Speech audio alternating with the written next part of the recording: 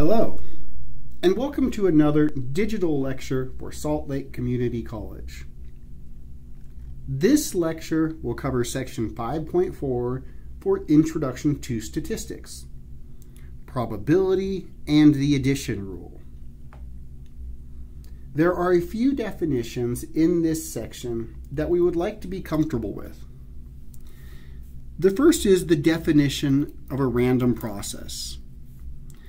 This could be any activity that's based on randomness, such as rolling a die or flipping a coin. The individual results in your random process are referred to as the outcomes. Now, the law of large numbers tells us as more observations are collected, the proportion of occurrences with a particular outcome will get closer and closer to the probability P of that outcome. It's important to notice in this definition that P hat is going to be a sample proportion.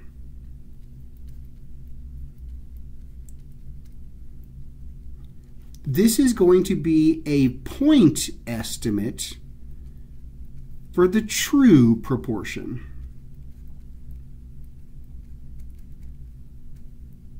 of an outcome.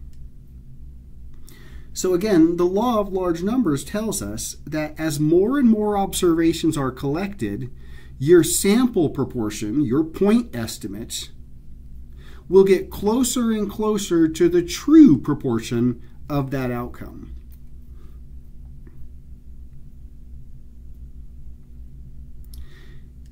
And lastly, probability.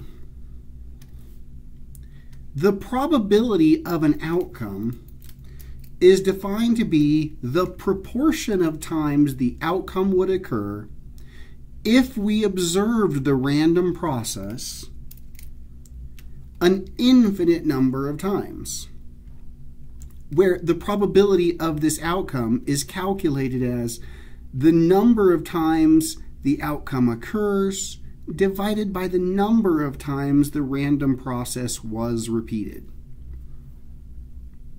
So again, the law of large numbers tells us as the number of times this random process repeated increases, the estimate of the probability will get closer and closer to the true probability.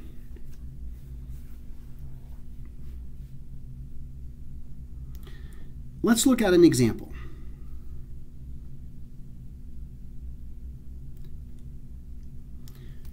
Consider the flipping of a fair coin.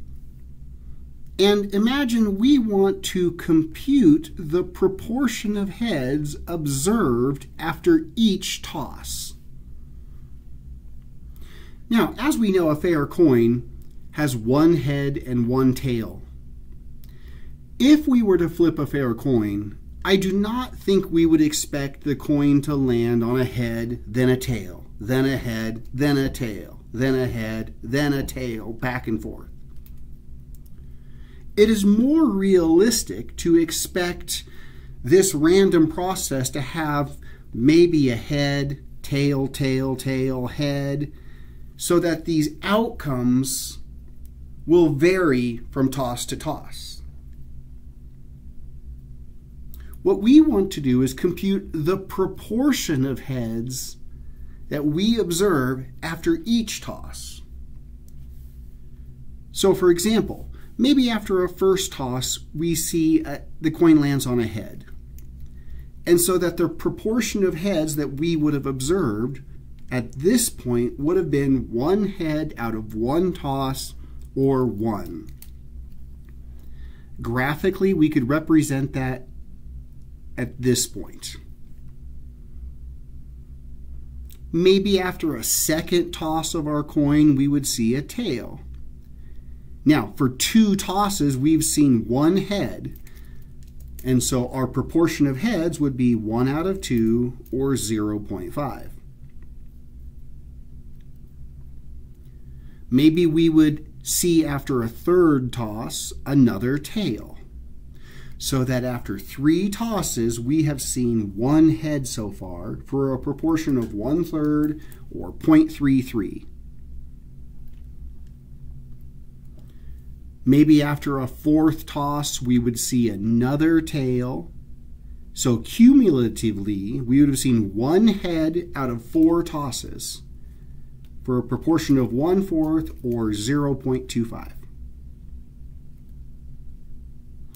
Maybe after a fifth toss, we would see another head so that out of five tosses, we've seen two heads come up for a proportion of 2 out of 5 or 0.4.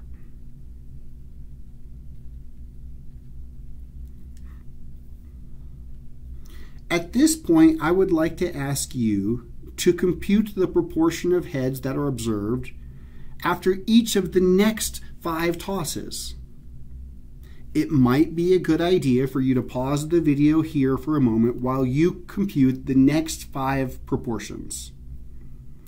I'll see you in a moment.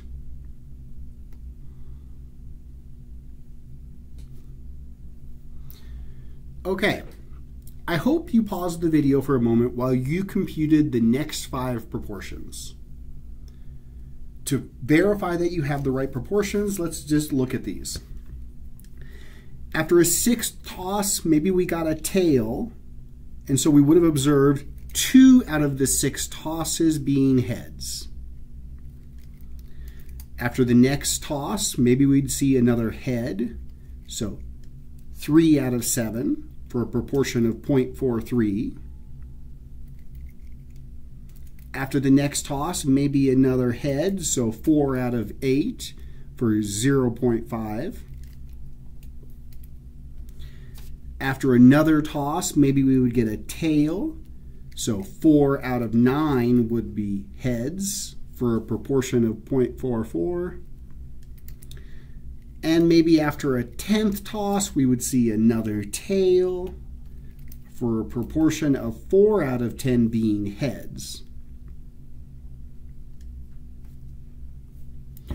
What we would like to notice is that these values are converging. They're getting closer to 0.5, which is the true probability of a fair coin landing on a head. This is illustrating the law of large numbers.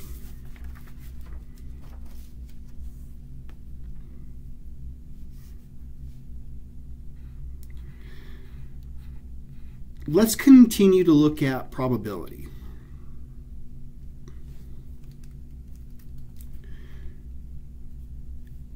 We would like to now look at disjoint events. These are sometimes also called mutually exclusive events. These are events that cannot both happen at the same time. This could be, for example, if you're flipping a coin. Either you'll land on a head or a tail, but you can't land on both at the same time or if you're considering a deck of cards. Maybe you'd pull out a heart, or maybe you'd pull out a diamond. But these would be disjoint events because a card cannot be both a heart and a diamond at the same time. Now, when it comes to probability, we will oftentimes use the addition rule. For disjoint outcomes, this says that if A1 and A2 represent two disjoint outcomes, then the probability that one of these will occur is given by the probability of A1 or A2. And to calculate this probability, for disjoint outcomes, we could calculate the probability of A1 individually and the probability of A2 individually, and then add these together. If there are many disjoint outcomes, then the probability that one of these occur would be the probability of A1 plus, plus the probability of A2 plus the probability of the next event and so forth.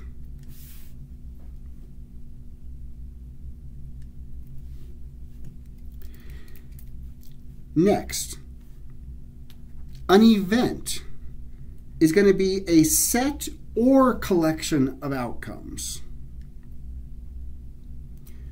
Now, when looking at events, it is often that we will see Venn diagrams. This is going to be a useful tool to depict the outcomes that can be categorized as in or out for two or three variables or attributes in a random process.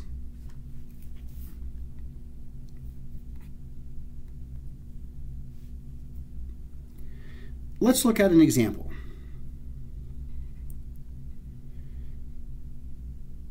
Here are two different sets of Venn diagrams. And I would like to help you see how we can use these Venn diagrams when looking at a six-sided die. Now consider the different sets, these different events. Maybe you might want to look at when rolling a six-sided die, how many of these values could be less than 2, could be odd numbers, or could be even numbers. And so the numbers less than 2 on a six-sided die could be a 1, the number of times or the number of sides of a die that are odd numbers would be 1. We could also say 2 and, ooh, now 2 is not an odd number. 3 and 5. And then the even numbers would be 2, 4, and 6.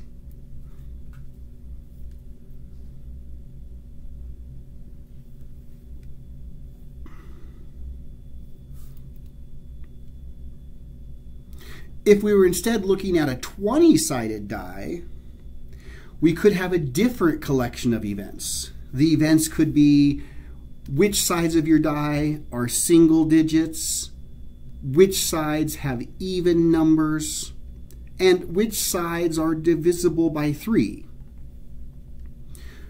where the intersection of these events would represent those outcomes that are in both events simultaneously.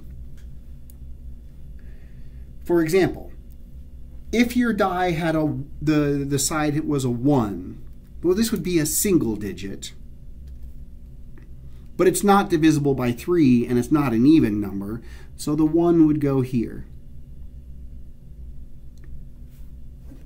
The next side of your die would be a 2 now it's, it's still a single digit, but it's an even number, and it's not divisible by 3, so it would go here.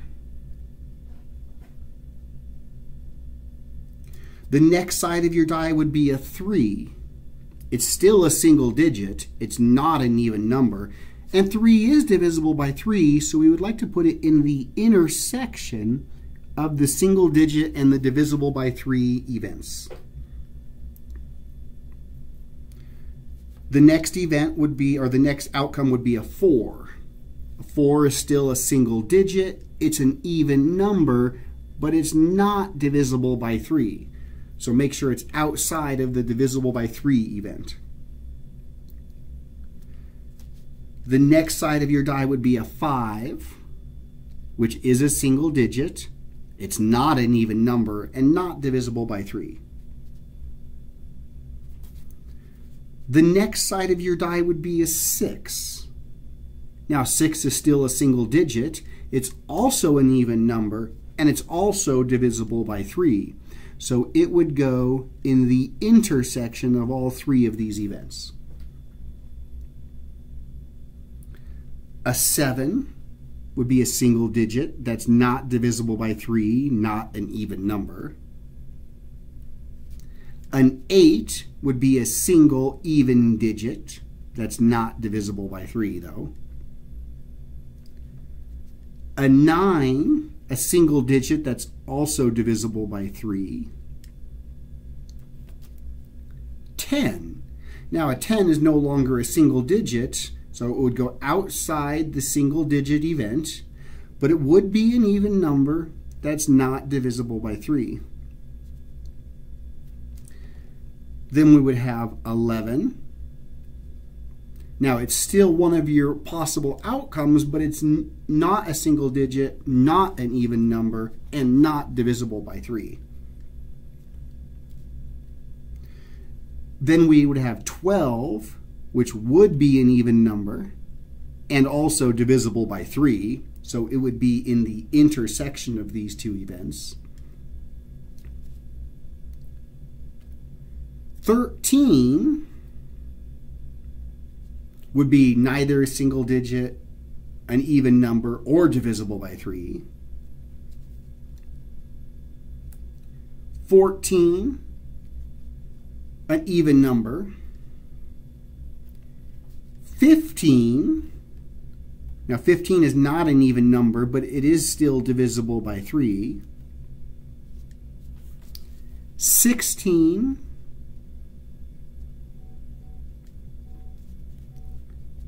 17, 18 would be an even number and also divisible by 3. 19 would be neither of these. And then finally 20, which would be an even number that's not divisible by 3. This is an example of how we can use Venn diagrams to represent the different types of events that we might be interested in. Now this about covers all the definitions for section 5.4 that I would like to discuss. If you have further questions, be sure to review the example videos that follow or ask your instructor.